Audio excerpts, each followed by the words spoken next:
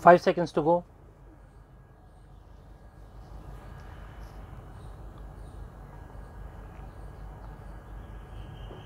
Start.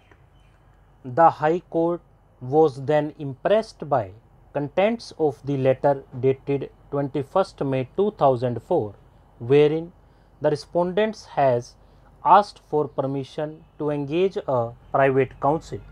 The High Court completely glossed over the plea taken by the appellants that this document annexure 24 was not a part of the court martial proceedings. Therefore, it cannot be made the basis to grant any relief to the respondent, much less to doubt the bona fides of the officials involved in the conduct of court martial proceeding.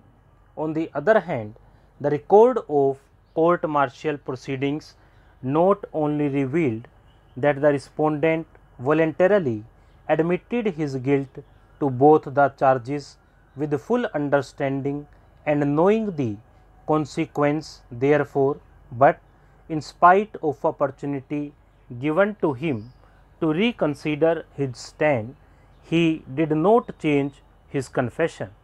As a matter of fact, reference to letter dated 21st May 2004 has been made for the first time only in the rejoinder affidavit filed by the respondent.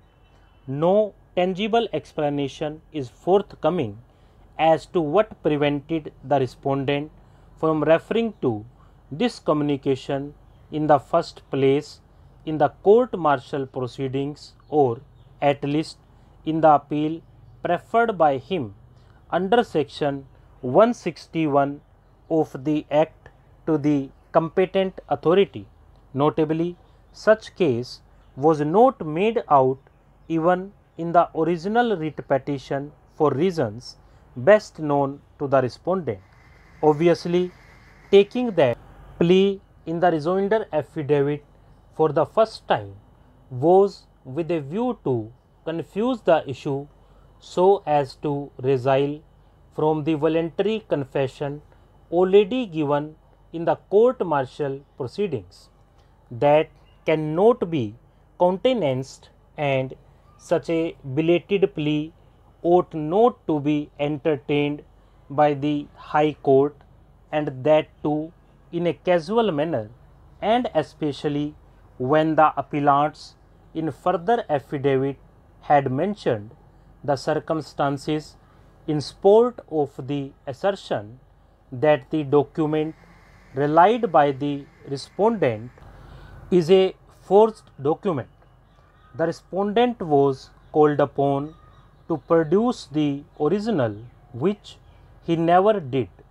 Neither the learned single judge nor the division bench analyzed the plea of the appellants in this behalf and yet granted relief to the respondent by direct, directing remand of the court martial proceedings in spite of a finding that the said document was not part of the court martial proceedings that has resulted in awarding premium to the respondent who had approached the court with unclean hands and to give opportunity to resile from the voluntary confession made by him which fact was justly recorded in the court martial proceedings by the concerned officials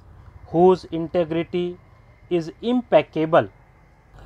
The High Court should not have entertained the plea of the respondent that he was pressurized to give confession in absence of disclosure of names of those officials and who had no opportunity to counter the allegations made against them.